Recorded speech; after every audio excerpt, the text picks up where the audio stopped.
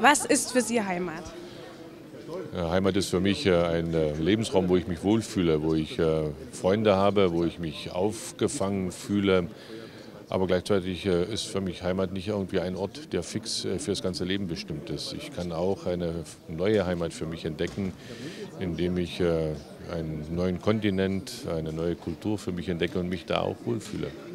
Für mich ist Heimat Sachsen, da ich gebürtige Sächsin bin, aber würde Sachsen niemals verlassen. Aber trotzdem ist es ja so, dass sehr viele Jugendliche gehen, sozusagen in den Westen, weil sie bessere Arbeitschancen dort haben, auch höhere Gehälter.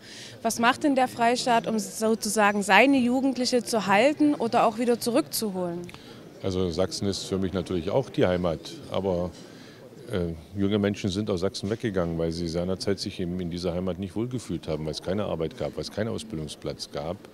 Heute ist die Situation eine andere. Es gibt äh, sehr gut äh, sich entwickelnde Unternehmen, äh, die mittlerweile Arbeitsplätze anbieten, die manchmal auch Jugendliche nicht kennen, weil sie es gewohnt sind, also nach München oder nach Stuttgart zu fahren. Also wir müssen dafür werben, die Unternehmen müssen dafür werben, dass sie über nicht nur ausreichende Ausbildungsplätze, sondern auch gut bezahlte Arbeitsplätze verfügen.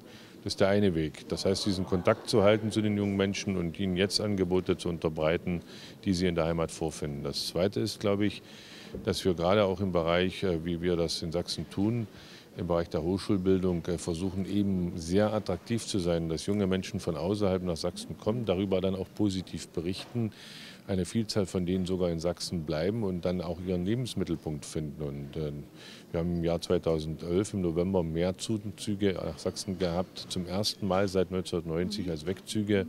Und das zeugt davon, dass also in der Tat die Neugier auf Sachsen zugenommen hat.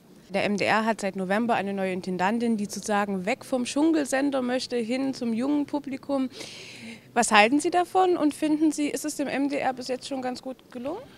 Also ich habe äh, sowohl den äh, scheidenden oder dem nicht mehr Intendanten, Herrn Professor Reiter, und der jetzigen Intendantin schon gesagt, also der MDR ist ein super Sender, den man bis um acht gucken kann, bis um acht gucken kann und äh, danach kommen dann die Wiederholungen.